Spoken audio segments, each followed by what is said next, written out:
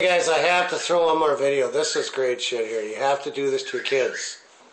Or take your uh, brother-in-laws or your nephews or nieces, somebody that want to get even with, and sit down with the kid and tell them, say, hold your tongue, or first of all, grab a little kid, you know, and tell them to hold their tongue and say, my dad was born on a pirate ship.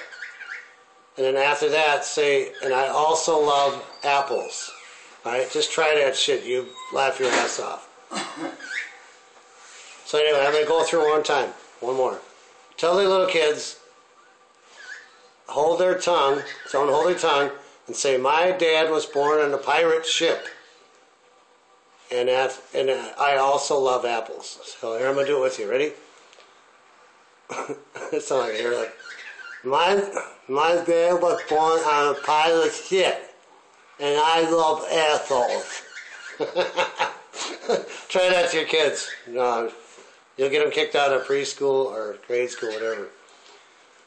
My bad. Yes, I'm bad. But anyway, hey, anyway, talk about. I got a hare lip guy. he can never talk right anyway. So I get him drunk, and I have conversations with him. He's got a hare lip anyway. So I kind of.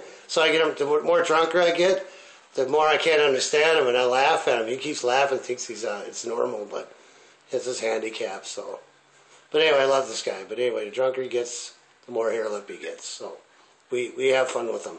All right, you guys. Mr. Terry's Neighborhood Garage. See you guys. Peace out, man. All right, bye.